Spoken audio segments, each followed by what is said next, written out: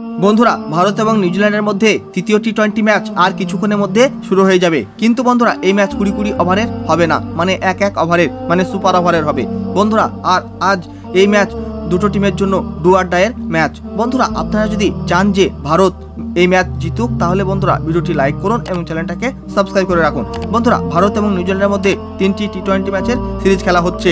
আর তার মধ্যে প্রথম টি টোয়েন্টি ম্যাচ বৃষ্টির জন্য ক্যান্সেল হয়ে গিয়েছিল এবং দ্বিতীয় টি টোয়েন্টি ম্যাচ ভারতীয় টিম নিউজিল্যান্ডকে পঁয়ষট্টি রানের বড় ব্যবধানে হারিয়ে দিয়েছিল। আর ভারত এবং নিউজিল্যান্ডের মধ্যে তৃতীয় টি টোয়েন্টি ম্যাচ ভারতীয় সময় দুপুর বারোটায় অকল্যান্ডে শুরু হয়ে যাবে।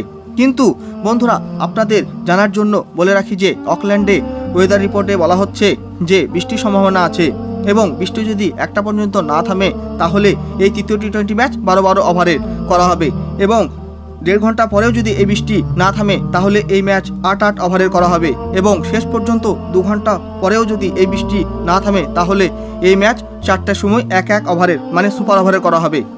যদি এই ম্যাচ এক এক ওভারের মানে সুপার ওভারের হয়, তাহলে এই ম্যাচ কে জিতবে? বন্ধুরা, অবশ্যই আপনাদের মতামত কমেন্ট বক্সে কমেন্ট করে জানিয়ে দেবেন। বন্ধুরা, ভিডিওটি যদি ভালো লেগে থাকে, লাইক করবেন, শেয়ার করবেন এবং চ্যানেলটাকে অবশ্যই সাবস্ক্রাইব করে রাখবেন। ভিডিওটি শেষ পর্যন্ত দেখার জন্য ধন্যবাদ জানাই। তাহলে দেখা হবে নেক্সট কোনো ভিডিওতে।